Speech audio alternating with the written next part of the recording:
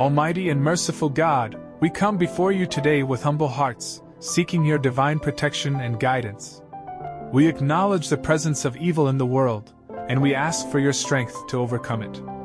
We pray, O Lord, that you would destroy Satan and all his agents who seek to harm your people and disrupt your plan for salvation. Give us the power to resist temptation and to stand firm in our faith against the wiles of the devil. Grant us, O God, the wisdom to discern truth from falsehood, and the courage to speak out against injustice and oppression. Protect us from the snares of the evil one, and lead us safely through the trials and tribulations of this life. We ask all this in the name of your Son, Jesus Christ, who conquered sin and death through his resurrection.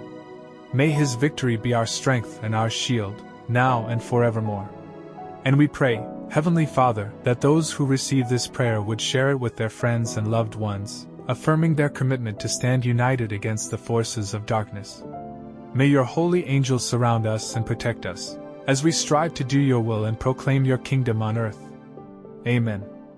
Feel free to share this prayer with your friends and loved ones to affirm our collective commitment to fighting against evil and spreading God's love and light in the world. Here are eight powerful ways to combat Satan and his agents. 1. Prayer and spiritual warfare. Regular prayer is a powerful weapon against evil forces. Engage in spiritual warfare by praying for protection, guidance, and strength. Use prayers of deliverance and spiritual warfare prayers to rebuke and resist Satan's influence. 2. Faith and trust in God. Strengthen your faith and trust in God's power and goodness. Believe in His promises and rely on His strength to overcome temptation and adversity. Trusting in God's protection and provision undermines Satan's attempts to instill doubt and fear. 3. Study and application of Scripture. Delve into the Word of God regularly and apply its teachings to your life. The Bible is a source of wisdom, guidance, and spiritual insight. Memorize key verses that combat specific temptations and use them as weapons against the enemy's lies. 4. Fellowship and accountability. Surround yourself with fellow believers who can provide support, encouragement, and accountability. Participate in a local church community where you can worship, pray, and grow together in faith. Iron sharpens iron, and strong Christian fellowship helps to strengthen resistance to spiritual attacks. 5. Living a holy life strive for holiness in thought, word, and deed. Avoid sin and pursue righteousness, purity, and integrity.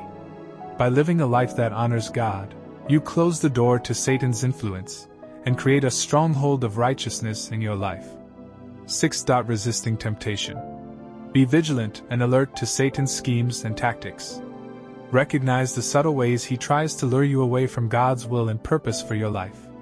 Resist temptation by relying on the power of the Holy Spirit and by actively choosing to obey God's commands.